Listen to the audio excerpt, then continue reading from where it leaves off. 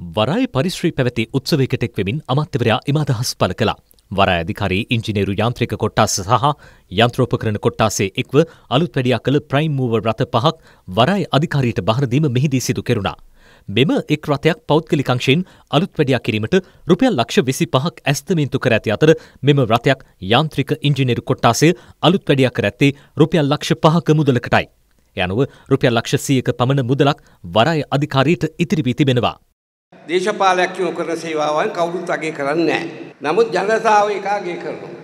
වෘත්තීය සමිති වලින් බොහෝම අඩුයි අගේ කරනවා. එයා හිතන්නේ දේශපාලකයෝ නැතුව Tamanට ඔක්කොම වැඩ කරගන්න පුළුවන් කියලා. නමුත් හැබැයි කෙරෙන දෙයක් කෙරුණේ දේශපාලකයන් නිසා බව ටිකක් මතක තියාගන්න. පඩි වැඩි වුණාද බෝනස් දුන්නද අනිකුත් ප්‍රතිලාභ ලබා දුන්නද මේ කිසි දෙයක් දේශපාලකයන් නැතුව කරන්න බෑ. සමහර අය ඉන්නවනේ කටින් බතල කොළ හිටවන අය. ඒ අයට එන මැතිවරණයේදී හොඳ පාඩමක් මේ රටේ ජනතාව දෙන බව පමණක් මං කියන්න කැමතියි. එතකන් අපි පොඩ්ඩක් ඉවසගෙන ඉමු.